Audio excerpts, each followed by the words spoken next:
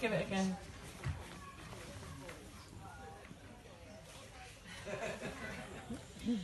She wanted passion and proof. She wanted physical affection instead of emoticon spoof. But I got lost in the aisle of that metaphor because I couldn't give any more. If you had a gun in my hair, I swear this is all that's in there. So she goes, she simply ups and leaves our show, and it's such a low blow that I'm breathing, hurting. The in and an out I should scream about. Let it out. But she's not even listening. So quickly she's made dust like we never had no lust, just all this sarcasm spasming out of those lips, that mouth that I once called home. Because nowhere had ever been so soft like a croft on a misty highland morning where deer stalk the dawn, bellowing about love and territory, and now she's just a story. That I have to tell my friends and keep breathing when they tell me to try and save me, everything ends.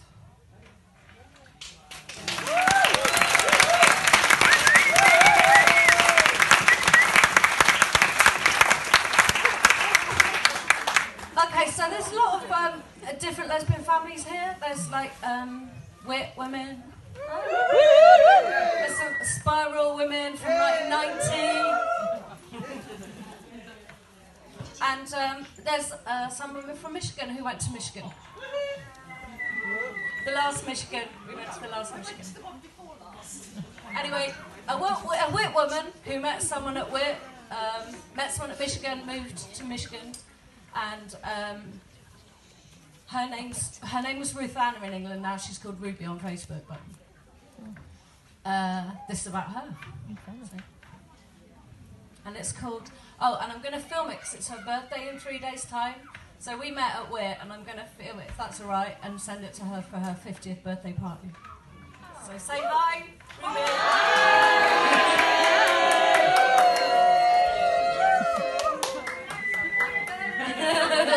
Happy birthday. She was going to be the first lesbian judge. We're still holding out for her.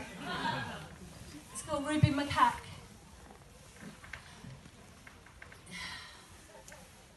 You came all the way from America to the wild west of Wales in winter.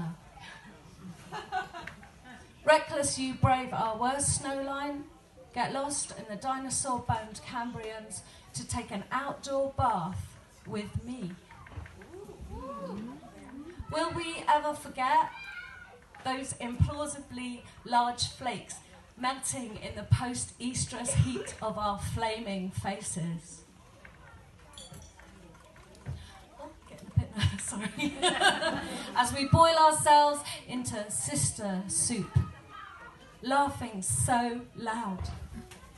Other women bring us tea. We've been four hours in minus seven degrees. Snow covering the grey in our hair with something debonair.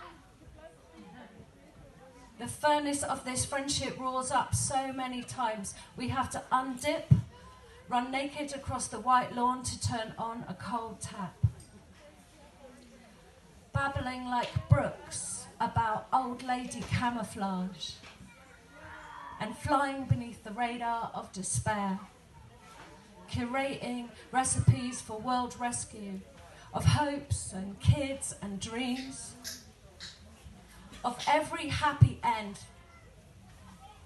that started with having a bath with your friend.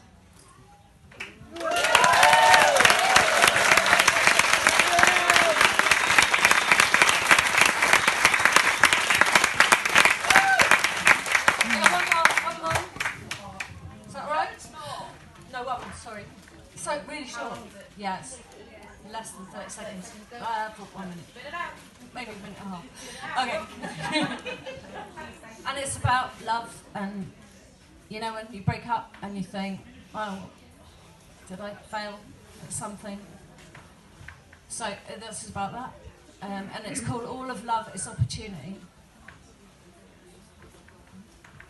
I got lost in a thickening fog of expectations fermented beyond their prime on who said what to who again and why. As if we could just unpick the blame thread. We could each hold up our own heads and we could cry righteous tears about our undead love. But the only thing we both know is what we can't let go.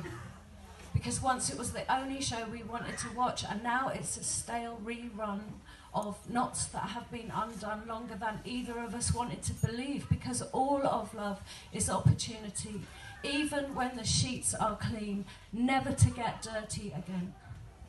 And all of this linen we keep trying to wash is stained indelibly with us. Even so, I fear, after all this vinegar soaking, unless we stop provoking, all that we had could be tossed, like leaves plucked off in summer, never to let a tree recover. And if I don't want to be lovers, that doesn't mean that I don't still love us. Aww.